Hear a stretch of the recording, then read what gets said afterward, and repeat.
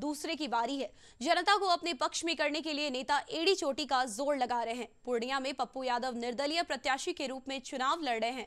अब समस्तीपुर से राजद में हुई बगावत की खबर आ रही है। समस्तीपुर ज़िले के उजियारपुर लोकसभा क्षेत्र से पूर्व मंत्री और राजद विधायक आलोक कुमार मेहता को महागठबंधन का उम्मीदवार बनाए जाने के खिलाफ युवा राजद के पूर्व अध्यक्ष अमरेश राय ने आज बागी उम्मीदवार के रूप में अपना नामांकन का पर्चा दाखिल किया।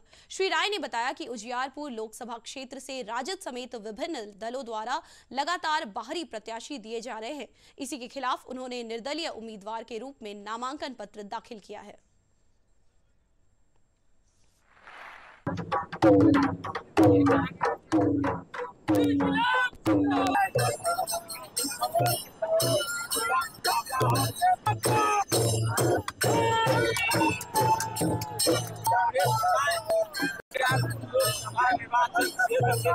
कोई विरोध नहीं है दोनों बाहरी है।